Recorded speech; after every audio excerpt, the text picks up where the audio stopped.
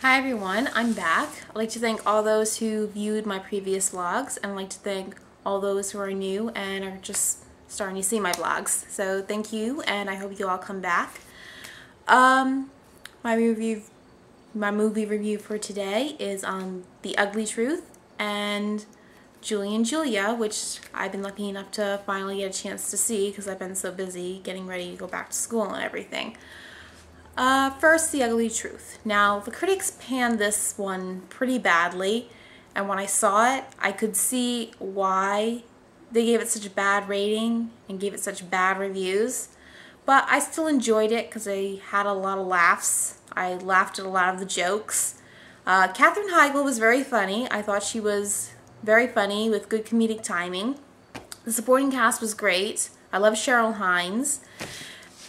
Gerard Butler Unfortunately, not so much. When he was talking uh, on the news camera and everything, and on his talk show about all these topics, then I enjoyed it because I thought he was very good with that. But everything else, hmm, not so much.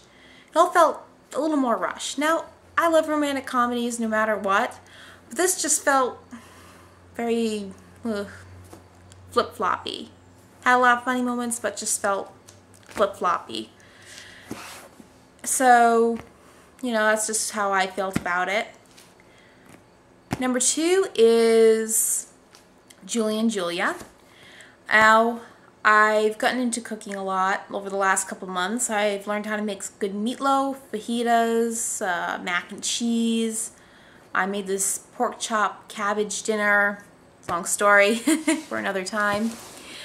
Um, so I was really looking forward to seeing Julie and Julia because it was about cooking and stuff.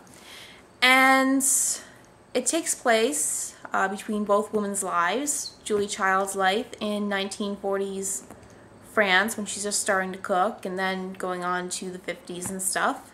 And then it takes place in Julie Powell's era in 2002 New York where she decides to make a blog, year-long blog on her cooking journey, cooking all 524 recipes from Julia Child's Mastering the Art of French Cooking book.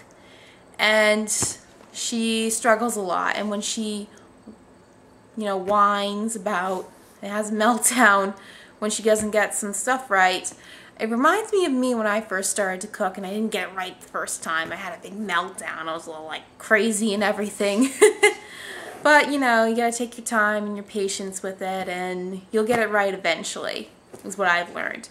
And Meryl Streep, very great as Julia Child. She really nailed the accent and everything. So she was really phenomenal. But what else could you not expect from her? I love her so. and Stanley Tucci, Tucci, I think that's right, Stanley Tucci, um, played her husband, uh, Julia Child's husband, Paul Child, and we've seen their work in The Devil Wears Prada, like three years when it came out three years ago. So he was very good, and I loved him and Streep together. so it was good. I thought Amy Adams was good.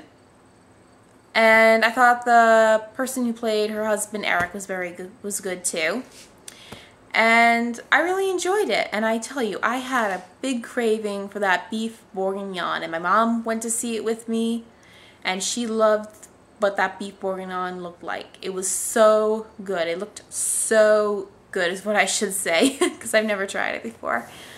And so I really did enjoy it, and I recommend seeing it because it was really good.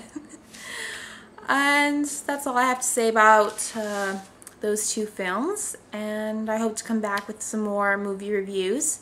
And thank you for watching. Have a good day or night.